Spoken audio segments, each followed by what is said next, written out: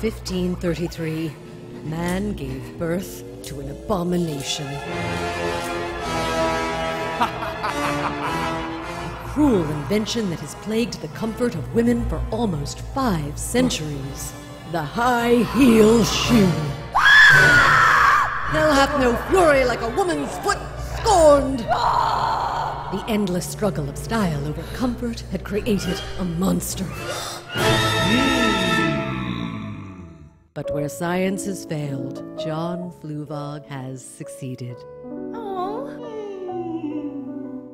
For over 20 years, Fluevog has been the coolest place to treat your feet. With distinctive designs that turn heads while soothing the soul, you'll never have to sacrifice the comfort of your stride again. At last, it's finally here. The perfect shoe.